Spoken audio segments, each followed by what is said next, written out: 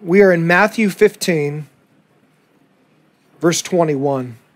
And Jesus went away from there, so the there is Israel. He went away from Israel and withdrew to the district of Tyre and Sidon. And behold, a Canaanite woman from that region came out and was crying, Have mercy on me, O Lord, circle, O Lord. And then underline, Son of David. Have mercy on me, O Lord, Son of David. My daughter is severely oppressed by a demon.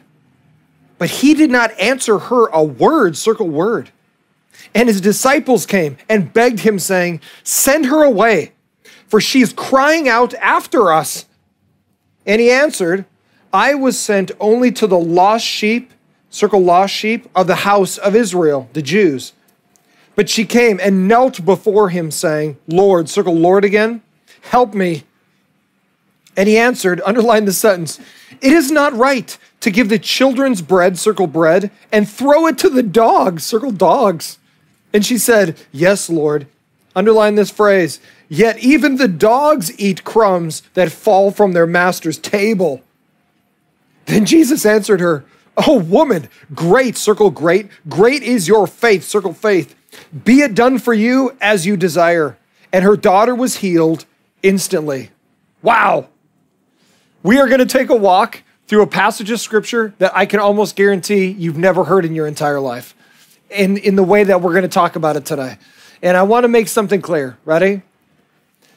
There's many times in all of our lives that God is silent. There's many times we pray about things and God says not a word. God doesn't respond. God, please don't let my grandma die. God, please don't let my son get sick. God, please help my marriage survive.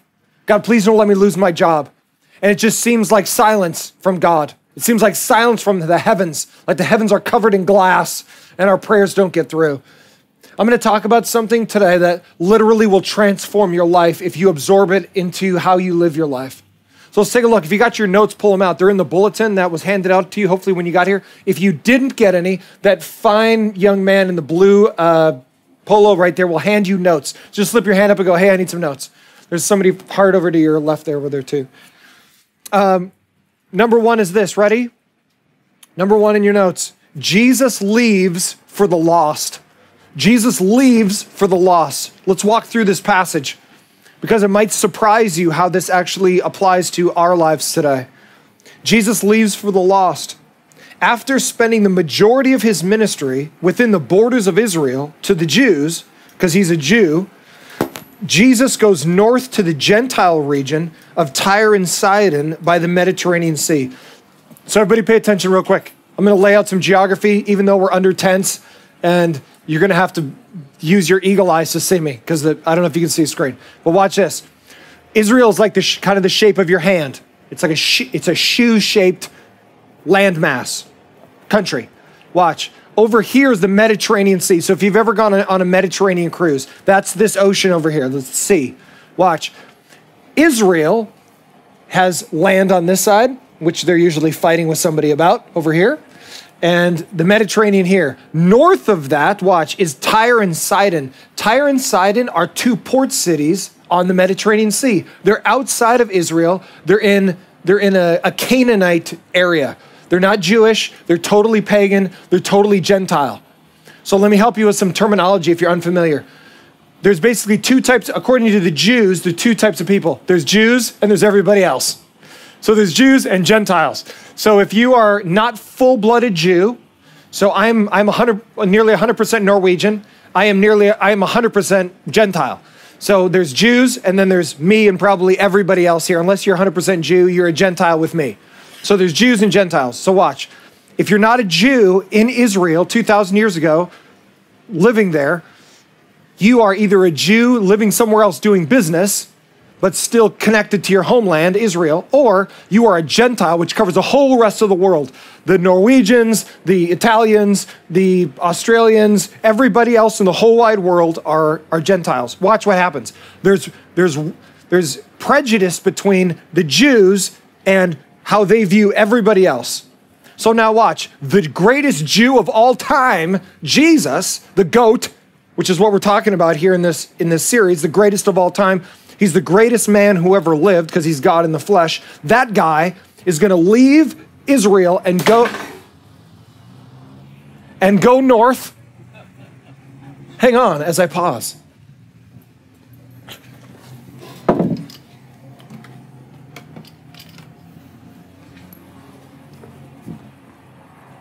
He's going to go north to a place called the region of Tyre and Sidon. They're port cities, ships from all over the world port there and then offload all their stuff. So it's high Gentile, high cultic. It's a wealthy area. And that's where Jesus has gone. He's basically going on vacation. Anybody need a vacation? Praise God, right? You're like, where should I go? You know, Maui, Australia, Hemet, you know, where any of the beautiful places. So when you're when you're like stressed out and you're like, dude, I gotta I gotta take a vacation. You think about places like where can I take my family, or if I don't want to go with my family, where can I leave my family and go on vacation? So that's what Jesus is doing. At this time in his ministry, he's bailing out of Israel to go north to a Gentile area, basically taking his boys, taking his disciples, kind of on a vacation to go and do ministry, but kind of get away from the chaos that's happening in his life in Israel. So that's the context here. After spending the majority of his ministry within the border of, of Israel to the Jews, Jesus goes to the Gentile region of Tyre and Sidon by the Mediterranean Sea. These two cities were wealthy coastal shipping ports. They were heavily influenced by sailors and merchants who brought with them their sinful lifestyles and cultic practices from all over the world. So, if you've ever been in the Navy, I got any Navy peeps here? Any SEALs? Keeping me safe? Okay, don't say anything. All right. So down in San Diego, we have ports there. We have ports of call. We have uh, one of the biggest shipping areas between San Diego and Long Beach in the world, as far as like stuff that's shipped into the United States at our port. So we got the Navy uh, down in San Diego, plus a bunch of huge shipping ports. Well, guess what? When people come docking in there, if you're in the Navy or you get to travel all around the world, one of the benefits of being in the military, you get to go all around the world and dock at different ports. You're like, hey, I'm like a tourist, except you're kind of not. And so the, the, the Navy will send you all around the world. Well, guess what? Once you get off the ship, you've been on a ship with a hundred other smelly guys, and you get off that ship and you're like ready to party. And so you get off and you go to a bar, you go to wherever, and you just want to get out and do some R&R. Well, that's what happens at Tyre and Sidon. It's wealthy. A lot of uh, merchants come in there, but also a lot of guys, they bring their sinful lifestyles with them. Prostitution is rampant in these cities. Um, you know, gambling and everything else that comes with guys that young men that have too much money and are bored. And so that's what Tyre and Sidon is. So you have Jesus, God in the flesh, traveling around basically to the Las Vegases of his day where everybody goes to party, where everybody goes to do drugs, where everybody goes for prostitution, where everybody goes to like hang out like I'm to go on vacation and just go go chill up here. That's that's the the Tyre and Sidon that Jesus is is going towards. So I want to give you that that foundation. A woman who lives in that area is to run into Jesus. Here's the principle, Ready? Here's our first principle. The darker the time, the greater the light shines. The darker the time of a culture, the greater the light shines. So listen to me in our culture right now, we are going through one of the darkest spiritual times that I think the majority of us who are alive have, have ever seen. So, my grandmother's 99 years old, and I don't know if I'm ever going to get to see her again while she's on this side of Jesus, uh, being alive because of COVID and everything else. I don't know if I'll get to travel to see her. But I mean, she's, all, she's almost 100 years old. So, she was born in 1920. Practically, they were still pulling, you know, cars had horse, real horses pulling them around town. And so she imagine what she's seen from like pre-car to we're sending up guys on basically planes to catch the the uh, space station. But you know, one of the things with her is that she was basically saying these are these are the darkest times that she can remember. And she went through the depression. She went through the craziest times financially that the United States has ever seen. But as far as spiritually goes, the chaos and the anxiety and the lostness that everybody feels. I want to I want to I want to lay something out for you that might surprise you. God allows lostness, God allows lostness in your own life and in a society to help people find the way to be found. So, watch. In the darkest times, the light needs to shine the brightest. In our culture right now, we're in dark times. We're in dark spiritual times. We're in a lot of lostness. And this is the time when the church has to shine. This is the time when Jesus has to shine through you. Everybody pay attention to me. Listen to me. If you're already thinking about lunch, shame on you. Pay attention. Ready? Watch this. Being with Jesus is a lot like a light source. It's a lot like a power source. When you're plugged into it, when you're connected to it, you have power in your life. You have light in your life. When you disconnect and go chase something else, whether it's popularity or, or money or whatever it is, when you disconnect from God and go somewhere else, you, you lose the light. You lose the reason that God left you in this world. That Jesus is the light of the world. You and I aren't the light of the world, but when we are connected to the light of the world, we become ambassadors for the light. So, in the darkest of our culture, in the chaos of our culture, in the anxiety of this moment, whether it's financial or social or whatever it is, People need to see Jesus. People need to see the light because in the darkness, the light shines bright. In the dark, you can see the light the greatest. The darker the moment, the greater that light is, the greater, the more obvious that light is. And for many of us as Christians, I'm just so saddened by Christians who, who start to care more about politics or social things or, or finances or they fight online or they, they, they, they bully other people. Like if you don't share this thing, you don't believe in, you know, people or love people or whatever. It's like, man, you don't, some of these things can be good things to, to, to care about, but you can't stop concentrating on the one thing that makes you a light in the world. Once you detach from the light and you go somewhere else, you're just as lost as everybody else.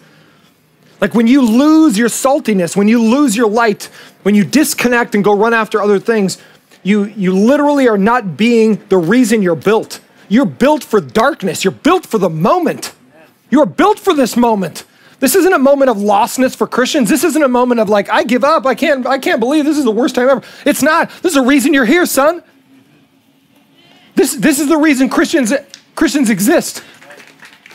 If it wasn't so, listen to me, if it wasn't so, Jesus would just zap you to heaven and just go, let's start eternity up in heaven. Why does God leave us here? Because we are built to be the light. And if you're not being the light, you, you're, you're not serving your purpose. If you're running around with the chaos of our culture uh, and the lostness of our culture, what good are you doing other than adding to the, to, the, to the chaos of the moment? So, Jesus right here is going to find some lost people even on his vacation. Anybody ever found lost people on their vacation? Jesus is going to find one right here. Look at this. While he's there in this region of Tyre and Sidon, Jesus meets a local woman with a demonically possessed daughter. So this woman has a daughter who uh, the demon inside of her is causing some physical issues or some health issues or whatever it is, is causing her to not be able to function correctly. And so, though this Canaanite woman has many religious options, like the Temple of Eshmun, which is local to her, he was a local god of healing that they believed. Nothing she has done has worked. Everybody pay attention, real quick. You can't see it on your screen because it's too, it's too bright out here, but you can Google Temple of Eshmun. Don't do it now. You can Google Temple of Eshmun. You will see the temple. Listen to me. They unearthed the temple about 10 years ago at the area of Tyre and Sidon. So when you go on a Mediterranean cruise sometime in your life and they dock at either Tyre or Sidon and you get to go off the port and you know walk around, you can literally go to this temple. The temple that this woman would have taken her daughter to to get healed is still existing.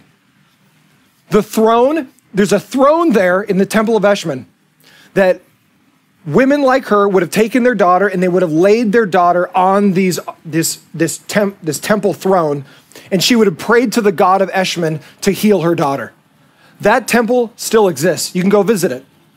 So understand this woman in this story probably took her daughter multiple times to the temple of Eshmun, laid her daughter on that throne, and prayed to the God that doesn't exist to heal her daughter. And guess what? Because the God of Eshmun doesn't exist, her daughter left the same from that temple as she was before she got there. So watch, she's done everything she can, everything her culture told her to do, she's done. She went to the Temple of Eshmun, she maybe burned some sage or uh, gave some money to it or whatever. She's trying to manipulate whatever gods the, the Canaanites worshipped to heal her daughter. None of that's worked. And here, let me tell you something. If you're giving answers to social problems or financial problems or cultural problems that aren't Jesus, you are leading people down the wrong path because there will never be, here's my thing you'll never have enough money to have peace in your heart. You'll just never have enough money. You'll never have enough money to have peace in your heart because money can come and go. Those of us that have been in the stock market, you've seen the thing go up and down and all over the place, and you lose like half of the stuff you, you know, you, you tried to save up for the last 30 years. All of a sudden, it's gone, and you overnight, and you realize, I thought I was kind of set for my retirement, and now I got to go back to work or whatever. So understand, you'll never have enough money to go, now I can be at peace. You'll never have enough friends to go, now I don't feel lonely. You'll never have enough relationships to go, hey, now, you know, things are great in my life. There will never come a point where you will have stuff outside of knowing Jesus that makes your life worth living. Watch. Because when you when you detach from God or you don't know God, at all, like this woman does. She's trying to find answers in her culture. Her culture is telling her a bunch of stuff like, do this stuff for your daughter, fix this problem this way. It's not working because it's not the real God. And now that leads her to despair and depression. And for many of us, we're in that space right now where we just go, I'm full of anxiety. I'm full of, I'm, I'm full of despair. Like I, I, I, feel some days like if tomorrow is the same as today, I don't want to live it. I don't, I don't, I don't want to live another day like this. So it leads us to, to hopelessness. It leads us to, to lo- we feel lost because money hasn't worked, because relationships hasn't worked, because sexual things haven't worked. And it, we, re- we realize literally nothing I have done. I've gone to the temple of Eshmun, so to speak, in our culture. I've done everything our culture says, hey, do these things. Everything I've felt, felt pressure to do from, from social media or my friends or whatever, and nothing works. Nothing gives me peace. Nothing gives me joy. I feel anxious and full of anxiety all the time. I feel lost. I feel dark inside. I just feel, I feel like if there is a God, I don't know him. And I love this story because this woman has done everything her culture said, hey, do this. She did it. It doesn't work. But now she's going to find the answer. And this is why Christians need to shine in the dark, just the way Jesus does in this story. And here's the principle ready? Lostness can propel people to seek a way out of being lost. You ever felt lost? Ever been physically lost? I remember I lost my son, who happens to be sitting over there in that chair. We lost him in, in uh, IKEA. Has anybody ever been to IKEA? Full of glorious furniture. Now, when you get old and crusty like me, it's a fun adventure to go to a furniture store. Well, we took Caleb when he was about three years old. True story. We were standing in one of the aisles and watching all the furniture that's there. And I happened to look down after a couple minutes and my son wasn't there. And so I said, Oh, he must be with Julie, my wife. And uh, Julie, is Caleb with you? No, I thought he was with you. The famous, you know, par- parental conversation. I thought you had him. No, I thought you had him. All of a sudden, you know what happens to parents? The sickest moment in a parent's life when you realize, where's my kid? And you start looking around. You're in IKEA. Could be anywhere. Could be hiding anywhere. Could be taken by anybody. So we start asking around, asking everybody. Nobody can find him. Well, turns out Caleb had bailed and went slept on a bed or something somewhere, and uh, we ended up finding him. But guess what? That lostness, the lostness of that moment, is one of the sickest feelings you will ever feel. Whether you feel lost or you've lost somebody else, that lostness feeling, you never want to feel that. And when you start feeling that for a long time, you go, I think I want to die. Because lostness is just, it propels despair, it propels depression.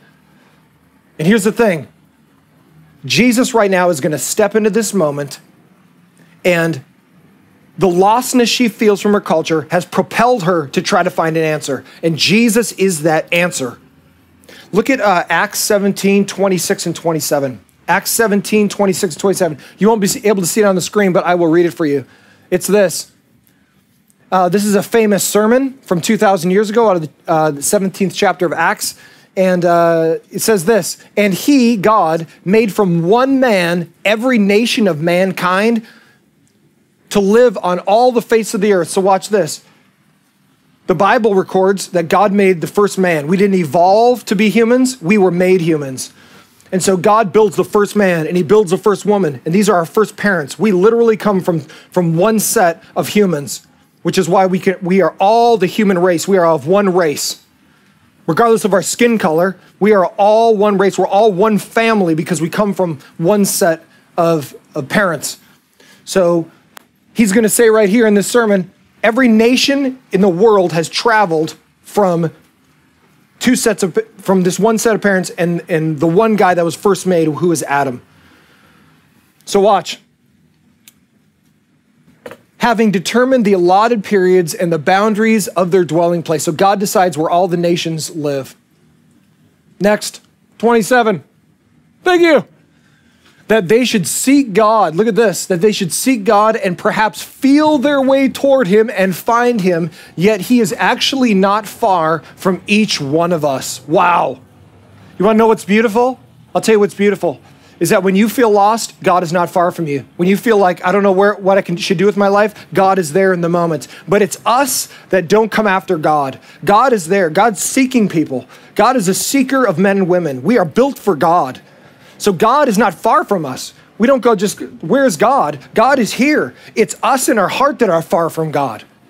And many times we don't want God because we actually don't want God to tell us how to live our lives. So we actually we want God to fix our problems, but we, we don't want God to fix our lives. Woo! Whoa, wake up. Some of you guys are thinking about In-N-Out, and you totally missed that. We want God to fix our problems, but we don't want God to fix our lives. We don't, God to, we don't want anybody telling us how to live our life. I want to sleep with who I want to sleep with. I want to make whatever money I want to make. I want to move wherever I want to move. I want to do whatever I want to do. And God, I want you to fix all my issues, my anxiety, but I really don't want you telling me what to do. I want God as my fixer, but I don't want him as my Lord. I don't want him as my boss. I just want somebody that'll just come in and fix my problems and go away. Just fix my problems and get out of here. But guess what? God doesn't run around, He's not our errand boy. We owe God our lives because he, he builds us, He loves us, He has done everything for us, and it's us that keep God at arm's, arm's length. And I love those verses. It says, Lostness, when you feel lost, it should propel you to be found. In the lostness of, of IKEA, we were propelled to go find my son. My son didn't really care about his parents or whatever because he's sleeping on a bed. But what, after a while, once he wanted some Cheetos or whatever, when he started feeling hungry, he'd been like, dude, I need to get found because mom and dad need to feed me. Like lostness should propel you to be found. And that's what's happening here for this woman. Number one, Jesus leads for the lost. Number two, a woman seeks to be found. So she's going to find Jesus. Though she isn't a Jew, she recognizes Jesus' Jewishness by submissively calling him Lord. Look at this. Look at your Bible. In Matthew 15, verse 22, it says, She came crying out, Have mercy on me, O Lord. I told you to circle Lord. That's the word kurios. And it's basically the Greek word that means, You're my boss. Imagine this woman. Uh, she's a stranger to Jesus. Jesus has never seen her in his whole life. She runs up and goes, Kurios, Kurios, Kurios. And what that means is you're the boss. You, you, you, you run my life. You tell me what needs to be done, and I will do it. That's what that means. It isn't like, Jesus, once you do stuff that I want you to do, then I'll think about following you. Once you fix my daughter, then you can be my Lord. Once you answer my prayer, then you can do, then I'll give you, then you'll be lucky to have me. God, you're lucky that I'm on your team. You're lucky I even put up with you, God. No, we have, a, we have an arrogant heart that says, unless you do stuff, God, unless you jump through my hoops, you can't have me. And that's absolutely the wrong way to look at God. God is God deserves your best. God deserves your respect. God deserves your life because he gives you this life. And it's us that keep God away, not God wanting to be near us. And he, she comes up to Jesus and goes, Lord, which means boss, master, which is not just a title of respect, it's a title of submission. She has submission in her heart. As Jesus walks through the area, the woman continues to cry out about her daughter's situation, but Jesus is silent. The disciples beg Jesus to send her away as she continues to follow them from behind, irritating them. You ever been irritated? All my irritated people out there are irritated right now. You're like, it's kind of hot. I feel a little sticky. I wish we could meet indoors. Where's the air conditioning? Why didn't we build a bigger sanctuary four years ago so we could sit out, we could be inside somewhere in nice air conditioning? Like, why don't we buy different properties so that we could be be all like if you're an irritable person, listen to me, listen to me, ready? We live in a culture of irritation. We live in a culture that says it's almost like a, a, uh, a badge of honor. Whoever the most irritated is gets a, gets a sticker. We li- social media is built for irritation. Somebody says something you don't like. Oh, did you hear about this? XYZ, blah, blah, blah, blah. I'm irritated about this. Oh, you see, you see this person did this bad thing, or this person did the wrong thing, or whatever. Listen, irritability is a product of pride. Irritability is a product of pride because what it's basically saying is things aren't the way I would do them or aren't the way I want them, so I'm going to let you know how irritated I am about it. Irritation is a product of pride. If you're an irritable person or you pass along memes that are irritable or you always facilitate irritation because you're like, I'm going to tell you how irritated I am, or I'm going to tell you things that really irritate me today. It's actually pride in your life going, things aren't the way I want them to go, and I'm going to tell other people about how irritated I am that things aren't my way. Listen, you need to start having an attitude of gratitude about even the things that are going not well in your life. Because why? God is always looking for people who are submissive to his will. Because, watch, with submission comes blessing. We want to live our lives and have God bless us. We just want God to fix our problems and then bless us. Hey, can you bless me? But God says, Follow me and I will bless you. And the, the first step of following is submission. The first step of following is to say, You are my Lord. I'm not my Lord. God, you are my Lord. Jesus, you run my life. Once you do that, you enter the family of God, and then God blesses you. But many of us want to run our lives, but still want God to do what we want Him to do. When you repent of your sin, come to know Christ, and He changes your life, you are now, you've become a child of God. And now God gives you a different mission in life. Rather than chasing the things you were chasing before, now you chase the things of God. And now God blesses you in your pursuit with Him. Things won't always go the way you want them to go, but God will always guide you when you follow Him. The disciples figure he's ignoring her because he's an important man and she's a forgettable female Gentile. However, Jesus isn't disregarding her anxiety, but is rather dissecting her authenticity. Have you ever wondered why God doesn't answer your prayer? You ever wonder why you prayed about that thing and God didn't answer it? Remember when, remember when you prayed and begged God that God wouldn't take your grandpa from cancer and he died? And he was the only male, male role model you had in your whole life because dad vaporized? And you're like, God, please don't take the one male in my life that's been solid. And he died and was taken away or your child, and you beg for your child's life in, in, in the hospital here. Or you beg, God, please don't let me lose this job. I'm going to lose my house. I'm going to lose everything. And that job vaporized. And many of us have lived our lives bitter at against, against God. Because like, God, you could have kept grandpa alive. You could have given me, kept me that job. You could have kept my kid alive or helped him not to get sick. God, you can do all these things. Yet I pray about it and I believe it and nothing happens. Ready? I'm going to lay something out for you. There's a reason God doesn't answer prayer. Number one, sometimes it's ungodly, and you don't even realize your prayers are ungodly. You're praying about, I want to marry this girl or I want to marry this guy, and that guy's a total tool bag. You just don't know it yet. But Jesus does, and He's protecting your foolish self from marrying that guy. And you're like, Jesus, if you really cared about me, you'd give me him. Jesus, if you really cared about me, you'd give me the hot chick that loves you. I don't know where she is, but somewhere. Guide me to her, Jesus. And Jesus didn't answer that prayer. And you and you and you you have that loneliness in your life and you're like, "Man, God, what's going on?" Let me help you. Sometimes God doesn't answer your prayer because it saves your bacon. I mean, praise God, He didn't answer all of my prayers from years ago that I didn't marry the one that I prayed about, that I didn't get that job I really wanted, that I didn't do that one thing that I really begged God for. Because I look back on it now and go, that would have been a total train wreck. And we fight against God and go, God, if you're really God, you'd answer this prayer. And He go, you don't even understand what you're asking. I'm already looking down the future, and that'd be a total train wreck. I'm not gonna, I'm not gonna bless you with death. And the other side is this, ready? Sometimes God has a plan that you can't see. In fact, almost all the time.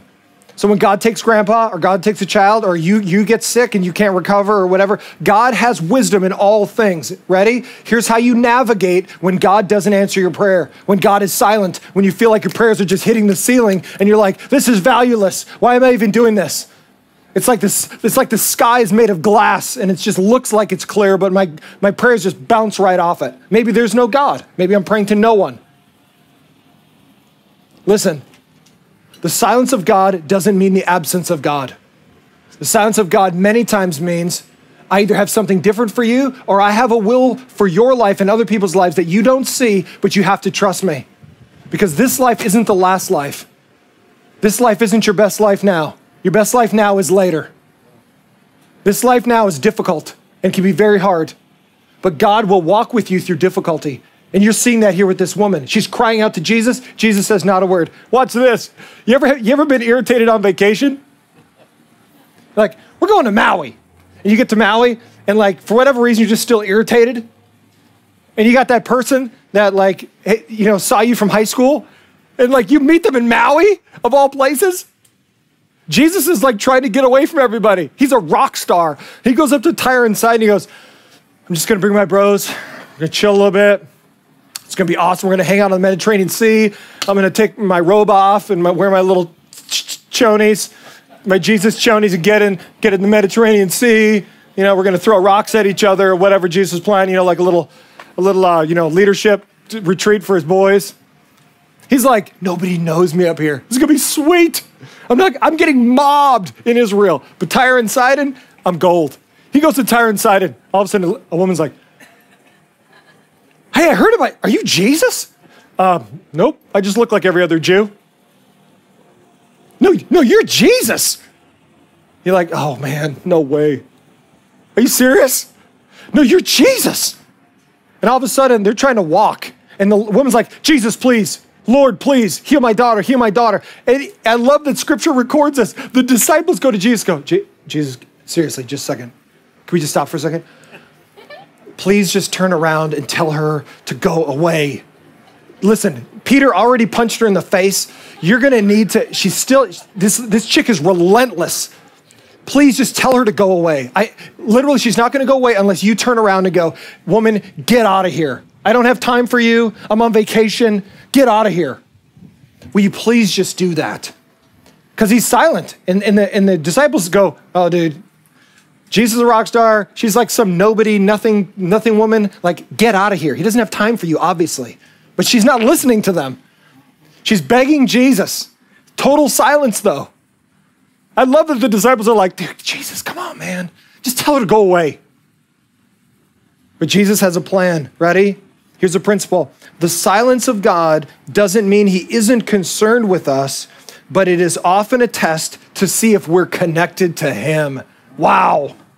The silence of God doesn't mean he's not there, number one. And number two, it doesn't mean he doesn't care. No, but the, the, the thing that often comes out of God's silence in our lives is that he's testing to see if you're really connected to him. Do you really love God? Are you going to still follow if your prayers don't get answered? That is often the test of prayers that are unanswered. Are You still going to love God if He doesn't answer your prayer? If you're sick the whole rest of your life, you still going to love God? If you lose that great job you love, you still going to love God? If things fall apart, are you still going to love God? Because for many of us, we go, I don't think so, honestly. Unless you start answering some prayers of mine and I get some stuff my way, I don't really think I'm going to follow God. And those, those are one of the things that God does, is he, in silence, he t- puts you and me to the test. Number one, Jesus leaves for the lost.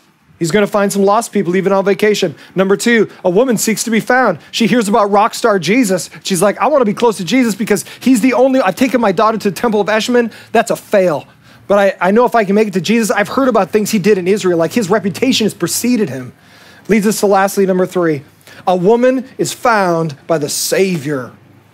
A woman is found by the Savior. Finally, Jesus quips that he was only sent to the lost sheep of Israel.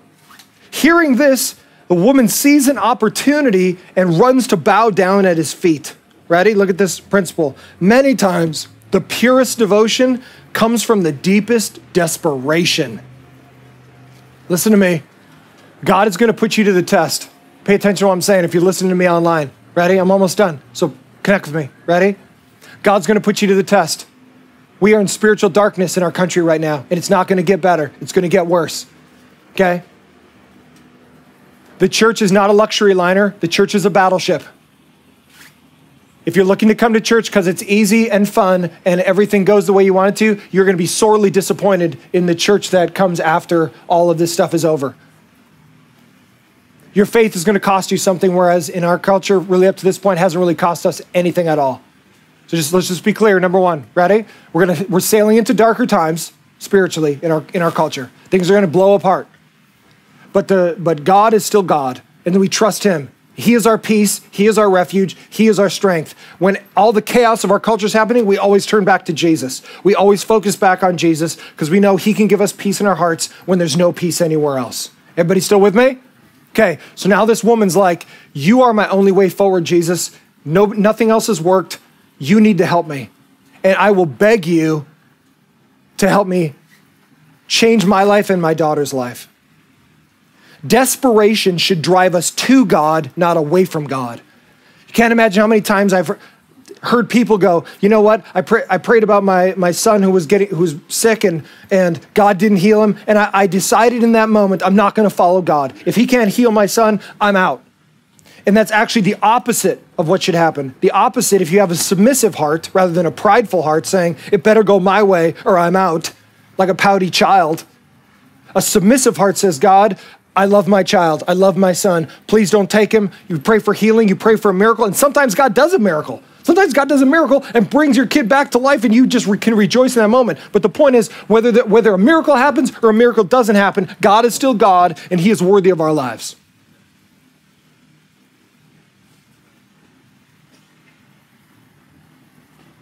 So listen, this woman's like, I give you all I've got. You're a Jew, I'm a Gentile. You don't owe me anything. And I love this. Jesus is going to play off a stereotype. He plays off a stereotype of 2,000 years ago. Think of a stereotype in our day and age, like white, white man can't jump, right? So I got a Norwegian vertical, right? And the reason that's a stereotype in our culture is most basketball players and most football players in our, uh, and even a good chunk of baseball players are all, are all black. And so, you know, when you look at basketball teams or you look at, at uh, football teams, there's just a hand, there's just a sprinkling of white guys. And even some of the white guys in, in, uh, in uh, basketball, some of them are European. They're not even Americans. So you look at that, and there's a stereotype in of our culture like, well, you can't jump, so you can't play basketball. I had a friend who uh, he was Asian, and uh, we were talking. He was talking about his mom driving, and he goes, he goes. Uh, I just want to tell you something. You know that you know the stereotype of uh, of, of, short Asian drivers. I, I'm like, yeah. He goes, it's true. The stereotype is true. When I get in the car with my mom, I have to make sure I'm saved because I don't know if I'm going to make it home because she doesn't use turn signals. She's she views the whole freeway as one lane and just kind of drives wherever. I, it's hard for me to even believe she can even see over the top of the dashboard. So even a, an Asian man was admitting the, the stereotype of, of his mom who's an Asian driver. And Jesus is going to use a stereotype. This is going to blow your mind. This is going to blow your mind when you, when you see the scripture. 2,000 years ago, there was a stereotype. You know what it was in their culture? Jews thought Gentiles, me, and probably you if you're not Jewish, were, do- we're on the level of dogs. Jews didn't eat with Gentiles. Like you wouldn't go out to, to lunch with them. You wouldn't sit down in the same restaurant. You wouldn't invite them to your house because why would you take a, a mangy dog off the street into your house? Like that's gross. They wouldn't even eat off the plates that if they knew Gentiles had used them previously, even if they would, had been cleaned, because they thought they were permanently uh, damaged, like permanently had COVID on them or whatever. And you know what Jesus does? He plays off this stereotype. Watch this. They're walking, disciples are following. They're saying, Jesus, get rid of this woman. He's silent. The woman finally goes, Jesus, will you help me? Jesus goes, I have not been sent to the Gentiles. I've been sent to the lost sheep of Israel. And she says, Jesus, please help me. And then, you know, Jesus pulls out a stereotype he, that they both know, they both know it. The, the Gentile, the woman, knows how the Jews view her, and the Jews know how they view Gentiles. They know this is a known stereotype. And Jesus goes, It's not right to throw the children's bread to the dogs. Now imagine if Jesus did that to you. Imagine how you'd blow Jesus up on, on, on social media. Hang on. Hang on. Did you just call me a dog? Oh, no, you didn't. Are you serious? Oh, man. Oh, hashtag Jesus is a hater. Jesus calls this woman a dog because it was the stereotype of their day to go, why would the Jewish Messiah, I'm the most famous Jewish person literally that's ever hit the face of the globe. Why in the world should I care about you, you nameless, faceless Gentile woman that just wants my help? Literally, I'm the most important person on the face of the globe as we speak. It's not right that the Jewish Messiah, the bread of the Jews, should be given to the dogs. Like the Jews were known as the children of God. I am their Messiah. As a Jew, I am their literally their bread. Why would it be given to why would the attention of the Messiah be given to a dog? Can you believe that? Imagine if that was you. You know what you do? You and I would do in this culture? We view being offended as like a virtue. Like I'm so offended. Can you believe how offended I am right now? I'm super offended. Hashtag really offended. And our culture goes, wow, your life is hard. You're so offended. That's like amazing. You're an amazingly offended person. But you know what she does? I'm gonna, I'm, gonna give you, I'm gonna give you a secret of living and then I'm done. Listen to me. I'm gonna give you a secret of living. Humility wins the day. Offense is a picture of pride in your heart. If you get offended easy, that means you're a prideful person. Because you're always it always has to be your way or things aren't the way you would have them be which is a, which is an element of pride. If you're an easily offended person you have a massive pride problem. And our culture supports that. Going if you're offended that's like a virtue in our culture. Hey share your offense. But you know what she does she doesn't go did you just call me a dog okay i'm out of here everything i heard about you is wrong i heard you were awesome you're a loser You know what she does? I, in heaven, I'm gonna high five this lady. I'm gonna say, you know what? I preached on you in 100 degree heat in Temecula. And you know why I gave you a high five in Temecula? Because she uses razor sharp wit and intellect. You know what I love when I, when I hear people with, with good intellect and sharp wit? I just go, man, that's awesome. Because she brings it up out of nowhere, she could have been offended. And she goes, Yeah, but even the bread that falls off the table, the dogs get to eat. Wow. Like, that's humility and wit and intelligence all wrapped up in one. She goes, Yeah, I could be a dog. You're right. You, the Jews view me as a dog, but guess what? Even the dog gets a, a few crumbs that could fall off the master's table. Wow. I mean, you want to talk about a woman that's like, I'm in total submission to you. You can offend me and I still love you. Look at this, and I'm done. As it was a known stereotype that the Jews considered Gentiles equal to dogs, Jesus plays off that stereotype. He uses the imagery of the children of the house, the Jews, getting their bread, the attention of their Messiah, Jesus, diverted to the puppy or the family pet, which is the Gentiles. Instead of being offended, with humility and wit, she notes that even a family pet gets a little of what the children get how many of you guys have dogs in your house? Dog people, put your hands up. Everybody, who's got a cat?